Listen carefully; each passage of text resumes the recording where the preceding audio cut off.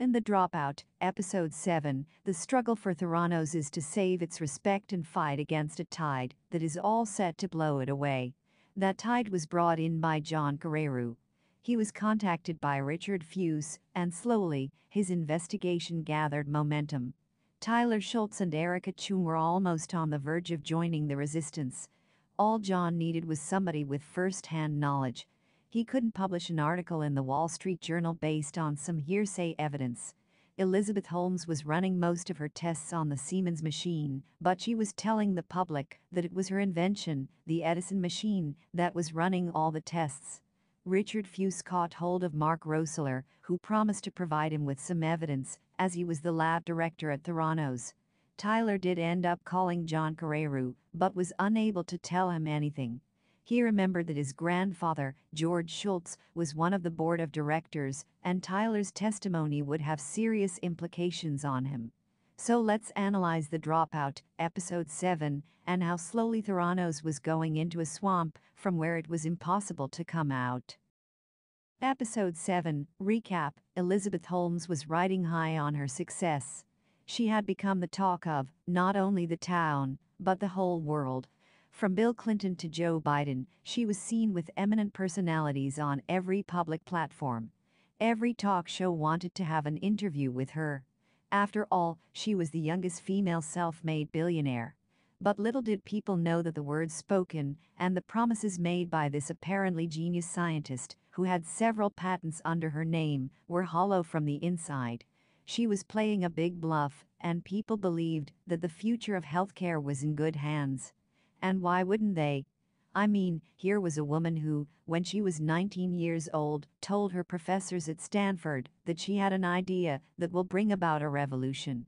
They believed in her, and eventually, the world did too. John Carreyrou went to Arizona and found some local doctors who were ready to testify against Elizabeth Holmes.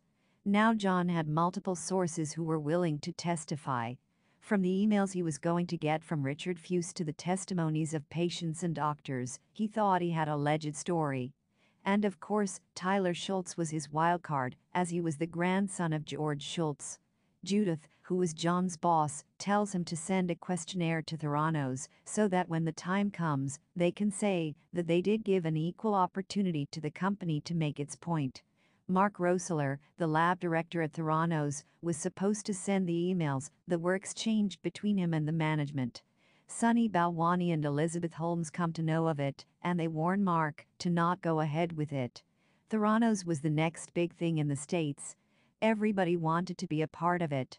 Theranos was approved by the FDA for doing herpes tests, and Elizabeth got the news printed in the Wall Street Journal. Rupert Murdoch, the media tycoon, who in a way owed the Wall Street Journal, had invested $125 million in Theranos. Richard Fuisz thought that it was the end of the game for him and everybody who opposed Theranos. The story was going to be buried as Elizabeth Holmes was going to buy out the only resistance present. John Carreyrou is of the opinion that they should run the story right away, even if it is seemingly half cooked. His boss, Judith, tells him a story about Sicilian fishermen. She tells him that there is a practice called la mattanza in Sicily. In that practice, the fishermen go inside the Mediterranean Sea. They stand still inside the sea for hours. The fish start to gather around as they don't realize that those men are standing there. At the opportune moment, when there are enough fish gathered, the men pierce their spears inside the fish, taking them out easily. Judith wanted John to act like those fishermen. She wanted him to gather evidence and hit Theranos when they least expected. Did the Wall Street Journal publish a story against Theranos? Sunny Balwani and Elizabeth realize that John Carreyrou has been contacting a lot of people to testify against them. They start threatening each and every person so that they abstain from testifying. Elizabeth had put Tyler Shultz in a precarious situation he had to sign a new non disclosure agreement.